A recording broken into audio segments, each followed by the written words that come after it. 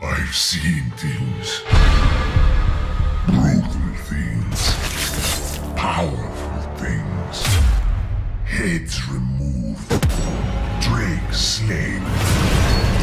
Dirt turned to mud in a rain of blood.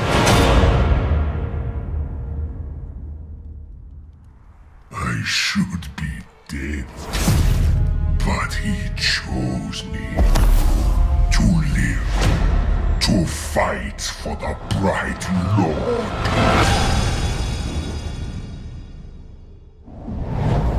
So there I was, his ring of power burning on my face, thinking, you know, he ain't so bad.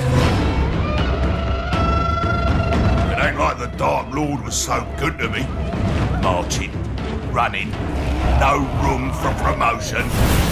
Nah, Sauron's days are numbered.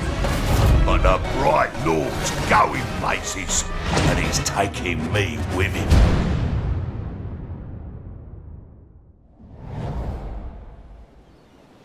You tend to see things a bit differently when you lose an eye.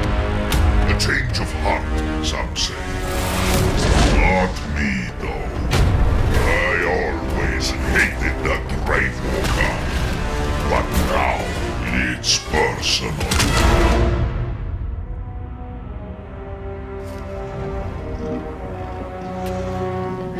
caragor droppings ain't the most beauteous work, but someone's got to do it. Then this ranger comes out of nowhere and lops me arm clean off. And in the darkness, I heard the most glorious voice, like bird song.